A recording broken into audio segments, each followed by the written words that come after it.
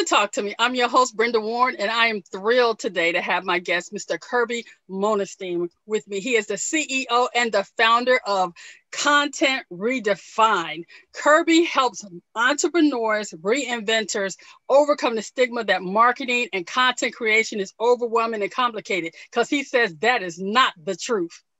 Kirby is a marketing coach and a specialist with over 20 years of experience. He has himself been employed by Fortune 500 companies such as JP Morgan Chase, American Express, General Electric, and just to name a few. He's been brainstorming and developing and leading large scale marketing initiatives for years. Kirby, welcome to the show. How are you today, sir? I am doing great, Brenda. It's so nice to be here. Thank you for having me.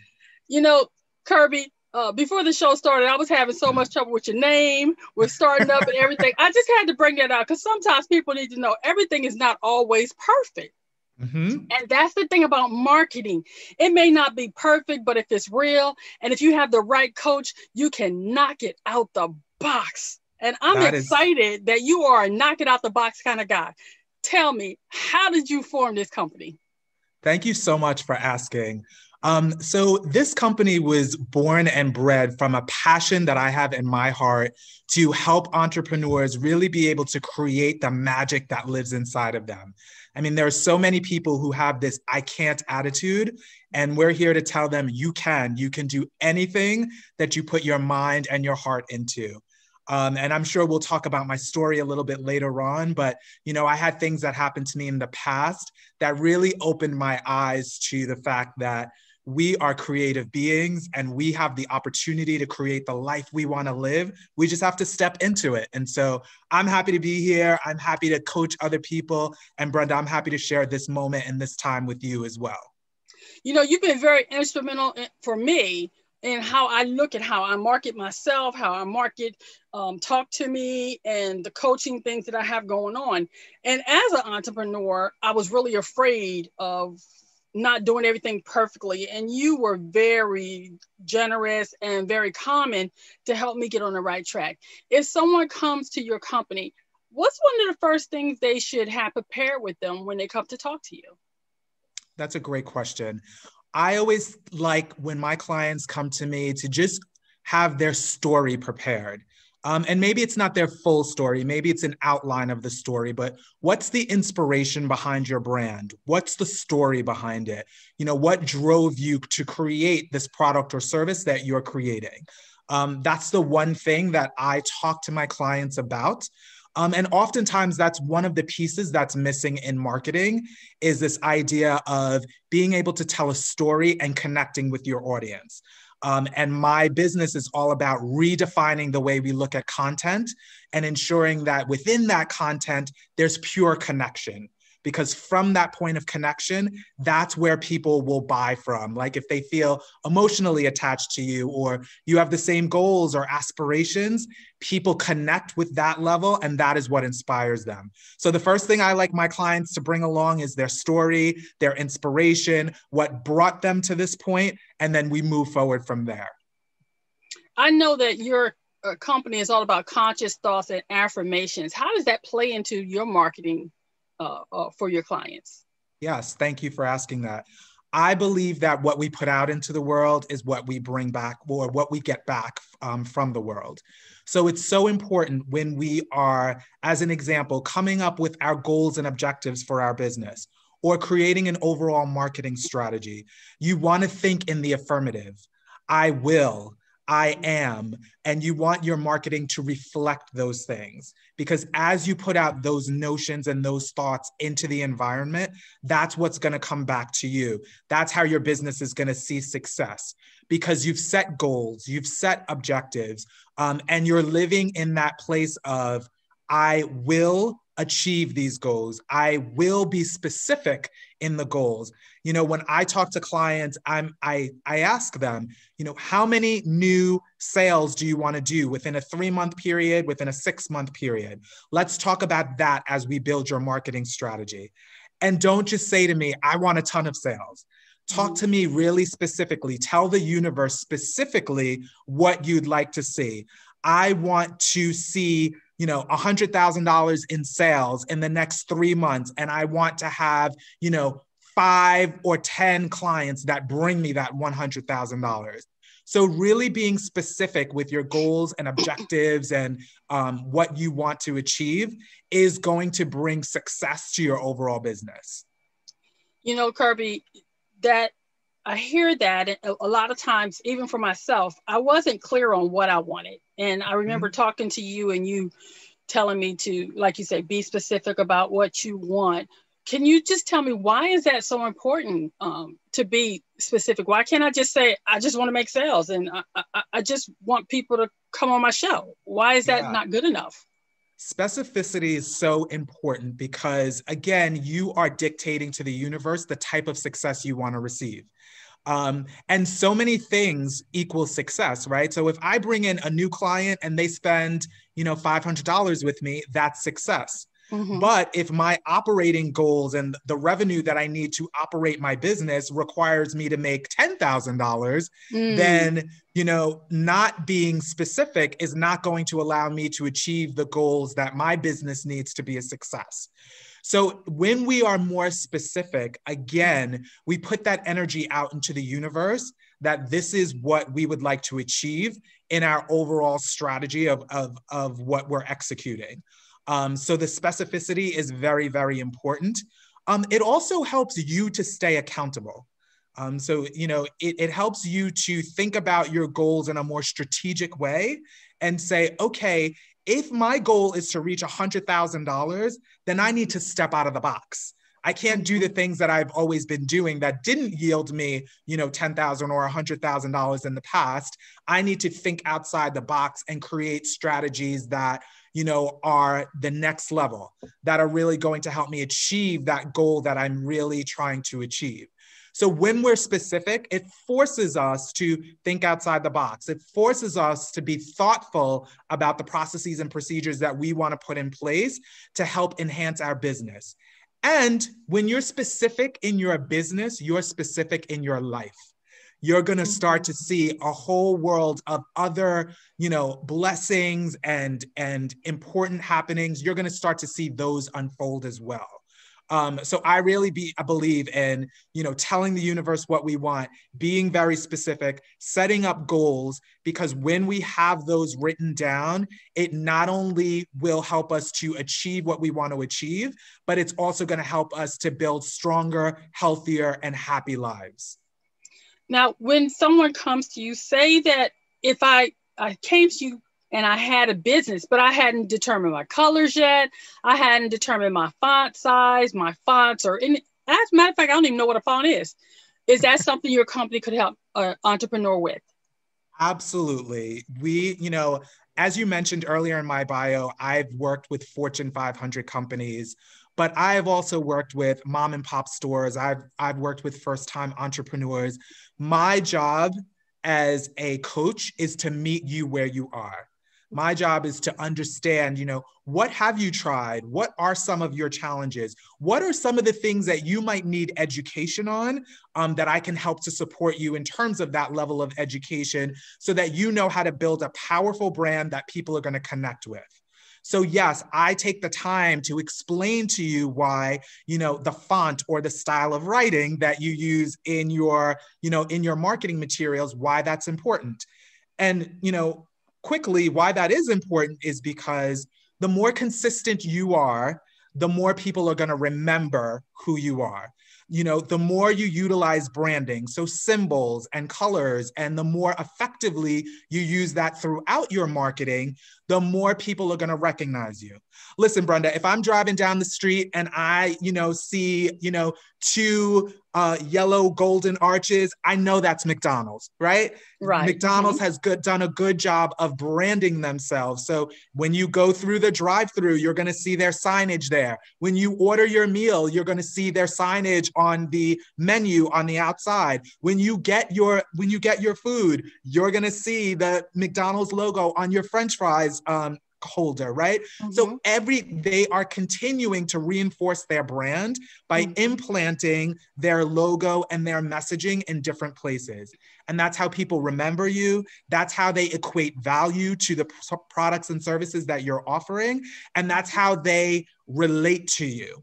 Um, so, yes, when you come to me, you know, we spend a lot of time deciphering what your branding should look like. And nine times out of 10, the, the branding comes from that number one, that story that we were talking about earlier, that inspiration but it also comes from market research and really identifying who is your ideal target audience and what do they want to see? What do they relate to? What colors make them feel good inside and bring up emotion for them? Um, what symbols do that same thing? And that's part of the exercise i take all of my clients through is number one identifying their story and then number two making sure they've identified their ideal target audience and the story that belongs to that ideal target audience and then meshing those two things together to help you mm-hmm. create a brand that sustains your your products and services now I know you work with large companies, but is there an ideal small company that you choose to work with? So that's that is something that I, to be honest with you and to be forthright with you, I go back and forth with all the time because I just love helping people. Okay. um, and part of my, you know, for those of you out there that have heard of Simon Sinek, who is a uh, big business mastermind and he talks about how to approach business you know one of the things he talks about is is your why why mm-hmm. do you do what you do on a daily basis mm-hmm. and my why for content redefined is to empower entrepreneurs and reinventors to empower other people in the community to change the world so my heart is in wanting to change the world. My heart is in wanting to implement so much good out there. Um, my heart is in wanting to connect with people and and empower them to tell their story because you never know what your story or how your story is going to impact somebody else and influence them or change them or perhaps they were going down one road and your story is going to help them go down a more powerful more intense road um, so my thing is always about, you know, finding your why, identifying your why. And my why is about empowering entrepreneurs to empower people to change the world. Then this would be a perfect time for us to talk about your online course, Consumer Connections. Yes. Tell us about that because that's a definite way for uh, entrepreneurs to begin discovering their why and to get help with you. Could you tell us about that? Sure. So I have a course. It's on my website at wearecontentredefined.com. Um, you can go to the courses or the plans tab and you can find the course. The course is only $30. Mm-hmm. Um, however, within the course, I talk about some very basic things. Okay. So it's very clear to me that, you know, as I mentioned before, even though, you know, I've worked for these 500 Fortune 500 companies, there are still people who don't even know what is marketing? How do I define it? Um, you know, what are the various marketing channels that are out there? How do I know what's the right marketing channel for my business? You know, what is branding? How do I identify, like, like we were talking about, the fonts and the colors, and and what is my vision statement and my mission statement, and why are those things important? Um, so in my consumer connections course, I talk about all of those um, items. I talk about marketing and branding at its basic form. Um, I talk about why it's important. I talk about how you can execute that as an entrepreneur on your own. Um, mm-hmm. Um, I also talk about ways to connect with me if you feel like you know you want some support um, or you want some help in the process. And Brenda, it's so important. There's nothing wrong with asking for help. Mm-hmm. um, I, I firmly believe that God and the universe and, and whatever, you know, spirituality that you believe in, there's there have been so many of these elements that have been brought to us mm-hmm. in order to support us in our day-to-day living so there's nothing wrong with asking for help um, but I also provide you with the tools if you want to say, hey, I want to take this on on my own. These are some of the basic tools that you can start your marketing and your branding with. The other thing about my course is that I do offer a sample marketing plan in mm-hmm. the course. So there's about 15 to 20 ideas that I give to you as part of the course that are easy to implement, they're easy to do, and they you can use to get your business started. Um, that will help you, you know, market, brand, get your product to market, and really connect with your ideal target audience. Well, Kirby, I'd like to um, ask if this is something you'd be interested in, because now I'm curious. I think that is a reasonable price. And um, I would like to gift your course to someone and then have them come back and have you join us and talk about how your course was received by them, if that's okay with you. Brenda, that is amazing. Thank you so much. I would love that. That's awesome. Okay. Well, we're going to do that. So, everybody stay tuned. We're going to get someone to take Kirby's course, and then we're going to come back with Kirby and that person and talk about how they were able to use that course. Now, after they do your course, they'll say, they say, you know what, Kirby, I love this course, but I need some additional help. What do they do next? That's a great question. So um, you can on my website there are forms where you contact forms. You can fill out a contact form. Um, I will receive that and I will contact you either by email or by phone. Um, you can also connect with me. I'm on Instagram. Um, so Instagram instagram.com forward slash content redefined. Um, I'm on LinkedIn as well, which is um, Content Redefined LLC, and I'm on Facebook as well at Content Redefined LLC. So there's so many ways that you can get in touch with me. Um, but you know, at, at its simplest form, you can go to the website, fill out a form, um, and I will email you or call you back, and we'll set up a discovery call. And again, I want to hear your story. I want to hear what the what the power is behind the work that you're doing and your why. Um, and I would be more than happy to, you know, chat with entrepreneurs who are really ready to take their business to the next level or who are really ready to understand how can I implement conscious thinking and the law of attraction and some of those um, elements into my overall marketing and branding strategy. Well, we'll make sure we have all your connection information in the description for the people that may see this at a later date. Uh, Kirby, can you tell me also? I understand that you're in the process of writing a book that's going to be being released this summer. Can you tell us a little bit about your book? Sure. Um, so I'm actually writing an, an an anthology. Sorry, okay. sometimes that word is a little hard for me to get out. Um, I'm writing an anthology with six other authors, so I'll have a chapter in the book, um, and the and the book is all about my true north. Um, so essentially, you know, what I talk about is my growing up. Um, you know, I grew up in a very Pentecostal, very strict household.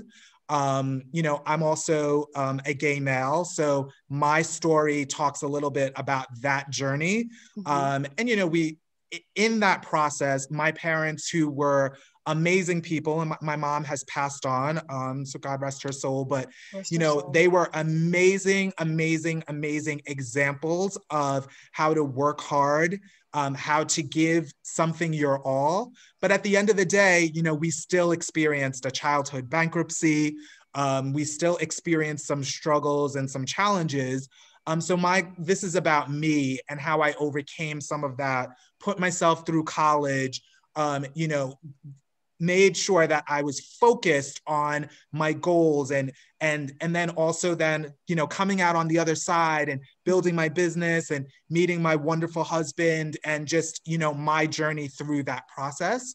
Um, everyone has a story and I like, story. yeah, and I like to say, Brendan, I think you've heard this line already, but I use it over and over again. I borrowed it from somebody. I can't claim it for myself, but your mess is your message, mm-hmm. right? So it's okay to tell your thing. story.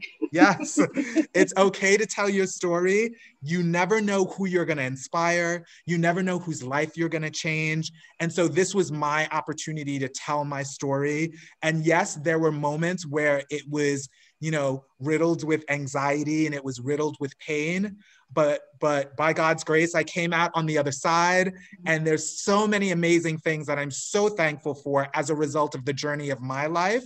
Um, so I just want to tell the audience your mess is your message.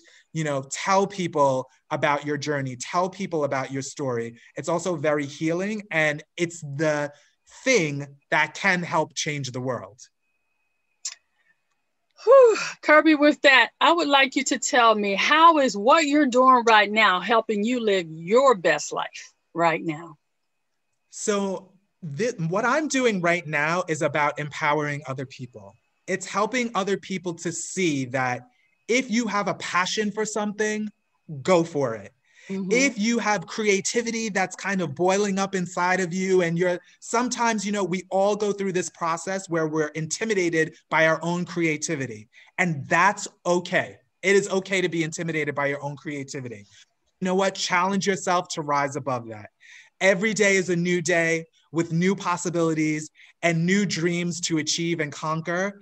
And so, what I'm doing is not only helping people to realize that they have the power to you know create this wonderful world that they want to live in but what i'm also doing is letting people know that they have the power to change the world. Um, and so that, that that's my thing brenda. It's just i'm helping people unleash this creativity the knowledge the thoughtfulness, the kindness, the love that they have within them. And I'm helping them just blow that out into the world and share that with everybody. Well, Kirby, thank you for that. I'd like you to stand by while we thank a veteran. Well, this is the point in the show, which I always love, because this is the time when I ask my invited guests and the audience to thank a veteran.